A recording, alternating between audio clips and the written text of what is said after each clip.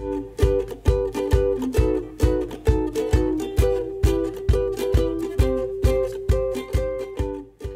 Year 2 students, we're back again for lesson 14. My name is Ella and I'll be your teacher today.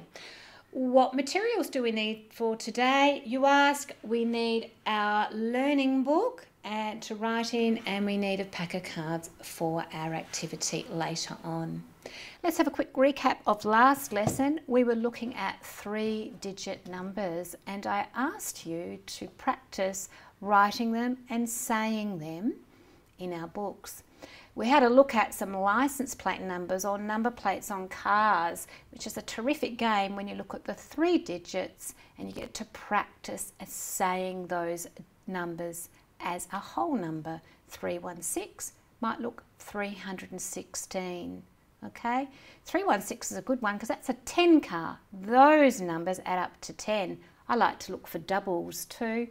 Uh, so there's lots and lots of games you can play with car number plates. I hope you enjoyed that and filled up a page. All right, to start today's lesson, we're going to do our warm up. And here it is behind me. Let's get thinking. Okay, our number talk once again is about place value and we have some MAB blocks to count in each hundreds, tens and ones. So my first question to you is what is this number? Let's have a look. Hmm, okay. We have three hundreds. We have a five and a three, which give me eight, eight tens, and something a little bit unusual here. We have 10 and 1. We have 11 ones. Now let's think about that. I know that 10 of these will make one of those. So I'm going to take those 10. This will help you with your maths. I'm going to take that 10 and make one here. 10 of these makes one of those. Okay, I've used that up. 10 ones make one tens. And now I can have a look at my number. So I have three hundreds. I have five and four. I have nine tens and I have one ones. Did you make 391? I hope you did and I hope you're getting better at this each time we practice. Okay, so now we know that this is the number 391. How else can I represent this number? And I think you can remember we've got a nice little pattern going here. So if I partition this number, I'm going to write, this is 300 and 9 tens, 90 and one ones one. This is how I can write 391 or I can write in words three hundreds and 90 tens and one one. I know that last lesson we wrote all of those out. I know, I did make a mistake. It's nine tens. Thanks for noticing. Okay, let's keep going. I'm going to take, hmm, I'm going to take one ten away from my number. One ten away from my number. So, what would that look like? Let's have a good look. 110 away from my number. It will look like this is a number sentence. 391 take away 110. I'm going to take 110 away and read my number again. I still have three hundreds, but now I have eight tens. So my answer will be 300, eight tens and one ones. This will be 10 less than the number I have. One last one. Let's add 100. Hmm, I'm going to add 100 in here. Okay, so I'll write my number sentence 391 add 100 equals, so now I'm going to have to draw in here an imaginary 100. One, two, three. I now have 491. 491. Well done, great warm up. Uh, let's get moving into our lesson. Okay, lesson 14 is all about this magical digit zero. Zero means nothing of something. Okay, and it's a pretty important when we look at big numbers, and that's where we're going today. So our learning intention is zero in larger numbers. Today, if we understand that zero means nothing of something, then we can use it in our hundreds, tens, and ones. Okay, let's start. I have a random number here, which is 300, hmm, zero tens and two ones. Let's make it. I'm going to use my MAB blocks, but remember you've got yours somewhere tucked away very safely to help you make your numbers. Okay, here we go. Three digits. I have a 302. 302. Three hundreds of my place value mat. Three hundreds. Zero. Tens, nothing. There's nothing at all. None there. And two. One, two. And this is how I make 302. This is how I write 302. Okay, great start. Well done. Now I'm going to make a number and show you the number. It's a little bit back to front, but I'm pretty sure we can do this. So let's try hmm, one in the hundreds, hmm, two in the tens, and zero in the ones. Zero means none of these. Okay, so I have one hundredths, one hundredths. I have two tens, two tens, and none of these. Zero ones. This is my number made as a number and this is how I write and say the digit. Who'd like to give this a go? This number is 120. Well done. Okay, let's go to the next one. Here is my last number. I've already made it. Let's have a look. I have 4 in the hundreds.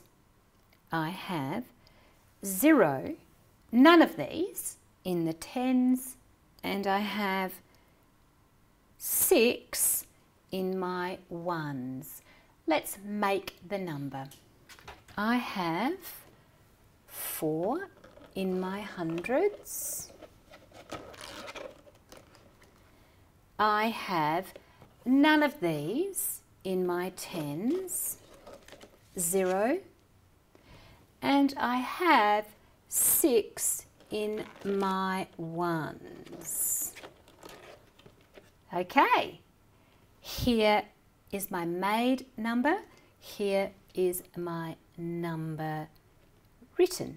What is this number? Yes, it is 406. 406. Here is my zero. Now's time to do some place value riddles. Let's have a look at some. This one we'll do together and these ones I'd like to try for you to try on your own. So A place value riddle. Interesting. I'm going to use my place value mat and I'd like you to do the same in a little while. So I have three hundreds and six ones. Three hundreds and six ones. What number am I? So I'm going to come down here to my place value mat. I have three hundreds. One, two, three, and I have six ones. And I have six ones. Okay, let's pop it down here so I can see what my number is. Three hundreds, I have three hundreds. I have none of these, no tens, zero tens. So that will fit here in my tens, zero tens, and I have six ones. Let's have a look at six ones. Okay, and here is my number. I have three hundreds, zero tens, and six ones. Three hundreds and six ones. None of those in tens. My number is 306. All right, now time for you to try these riddles on your own.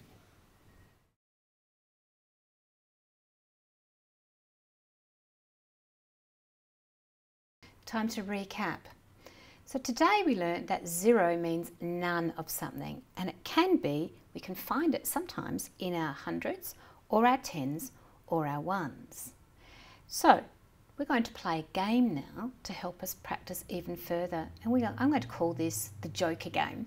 So we need a pack of cards and we need to remove our picture cards, our kings, jacks and queens.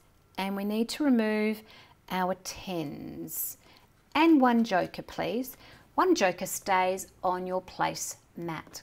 All right, so I am going to shuffle these up and deal out some cards. Loretta's done the first one for us, so let's have a look. Loretta dealt out seven in the hundreds.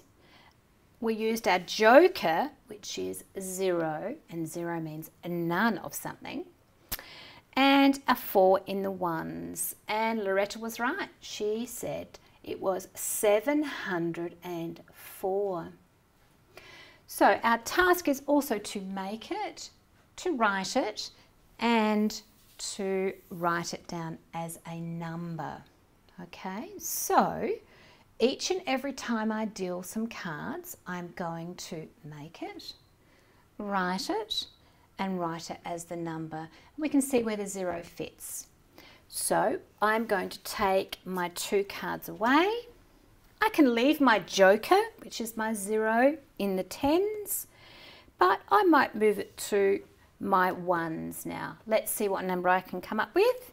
I have got a one as an ace and an eight. So my number here is 100 an 8 in the tens and a 0. This number will make